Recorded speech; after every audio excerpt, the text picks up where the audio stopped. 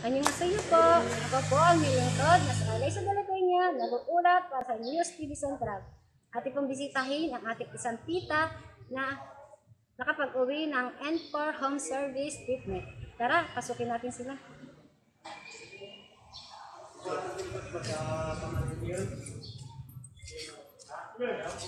Hi! Annyeonghaseyo po, tita! Annyeonghaseyo! Annyeonghaseyo po. Ito po ba namin kayo interviewing? Yes po.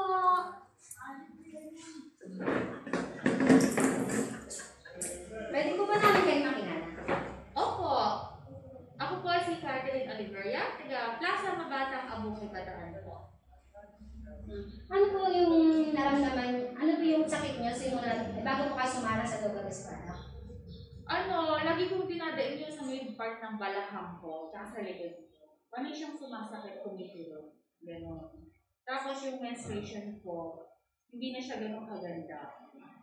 Kaya nung nakilala namin si Muga Best ng family ko, talagang nag-try kami. So, yun.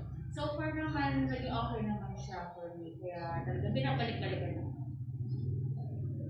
Ano po yung masasabi niyo sa Local Espada?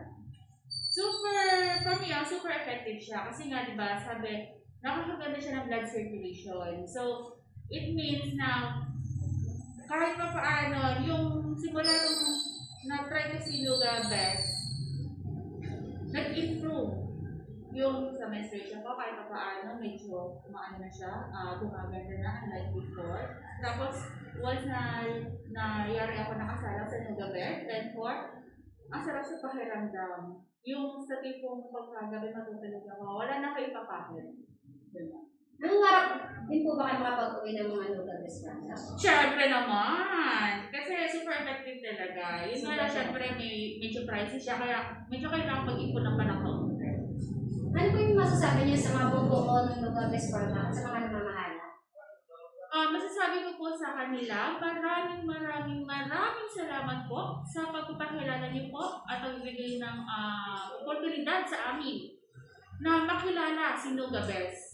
No, sobrang laking tulong po nito para sa amin, lalo po yung mga wala pang kakayahan na bumili nito or magpagamot, di ba? Kasi marami na rin mga nag-testimony before na talagang kailangan ka ng malaking pera para kang magpagamot man lang, di ba? Eh sa panahon po lalo ngayon na pandemic, hirap po ang bawat isa nang pumita ng pera, di ba? So paano mo pa nila matutustusan yung pagpapagamot? So maraming maraming salamat sa Noga Best. Dahil sa product nila, marami silang natutulungan ng tao.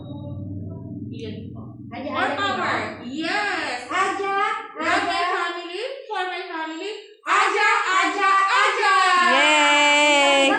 Kamsahamnida.